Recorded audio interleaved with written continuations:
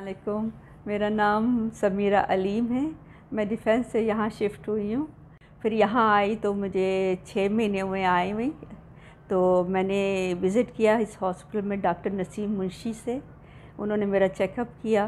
तो उन्होंने कहा कि नी रिप्लेसमेंट चाहिए। वो भी फुल टोटल नी रिप्लेसमेंट तो मुझे बहुत डर लग रहा था कि उन्होंने मुझे कहा था कि एपिड्यूरल लगेगा। तीन दिन एपिड्यूरल लगा रहेगा।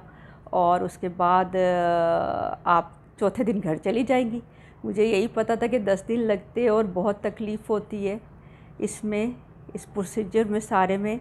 लेकिन पता नहीं क्यों मेरे दिल को उनकी ये बात अच्छी लगी कि उन्होंने कहा कि तीन दिन में आप घर चली जाएँगी। फिर मैं दो महीने के बाद अपनी बेटी के पास गई हुई थी, यूके, वहाँ से आई हूँ।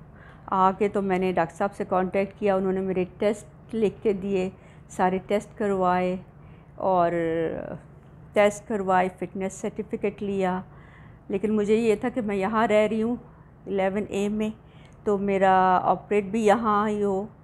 तो इसलिए फिर मैंने ये हॉस्पिटल माशाल्लाह बहुत अच्छा है। हर फैसिलिटीज़ है यहाँ के डॉक्टर बहुत अच्छे हैं। ख़ासकर डॉक्टर मुंशी ने बहुत ही अच्छा किया और उनकी वजह से मेरा डर भी नहीं रहा।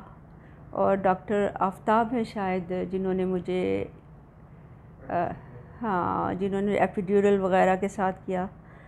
तो बहुत ही मज़ा आया क्योंकि उन्होंने अल्लाह का नाम लेके सारा काम शुरू किया। ऑपरेशन थिएटर बहुत क्लीन था और जो सबसे मेन रीज़न थी बहरिया में ऑपरेट करवाने की, वो यही था कि कोरोना नहीं है।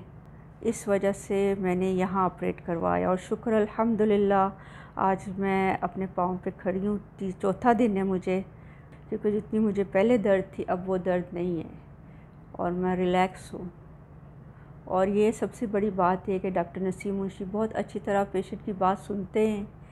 और ये नहीं कि बस जल्दी जल्दी नहीं, हर क्वेश्चन का जवाब दिया उन्होंने मेरे बच्चों से भी बात की है, उनको भी तसल्ली दी, मुझे भी तसल्ली दी और उन्होंने यही कहा कि जब तक आप लोग आपके घर